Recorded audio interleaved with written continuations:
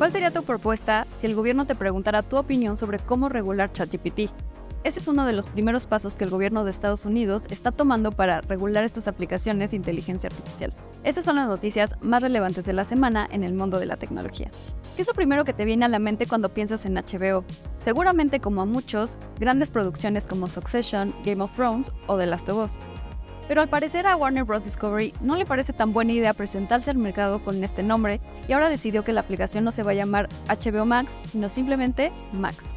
Este nuevo cambio será visible a partir del 23 de mayo en Estados Unidos y a finales de año en México, y será casa de nuevas producciones como una nueva serie de Harry Potter y una nueva precuela de Game of Thrones. A pesar de las tensiones comerciales entre China y Estados Unidos, Tesla va a construir una nueva fábrica en Shanghai. La empresa ya tiene una Gigafactory en esta ciudad que construye automóviles, pero esta nueva empresa se dedicará a construir baterías Megapack. Elon Musk ya ha expresado sus intenciones de que la división de baterías de Tesla sea tan grande como su negocio de automóviles, y parece un movimiento lógico a medida que las empresas y los gobiernos hacen su transición hacia energías renovables. Y déjame contarte que el gobierno de Joe Biden quiere saber tu opinión sobre la regulación de ChatGPT.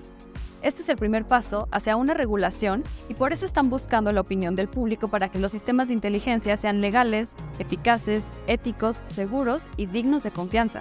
Concretamente, el gobierno está buscando opiniones sobre qué tipo de auditorías o evaluaciones deberían hacerse a las empresas antes de que lancen este tipo de herramientas de inteligencia artificial al mercado. Recordemos que ChatGPT se ha convertido en la aplicación de consumo de más rápido crecimiento en la historia, con más de 100 millones de usuarios al mes. Y esto no solo ha puesto a temblar a los gobiernos, sino también a grandes empresas tecnológicas como Google.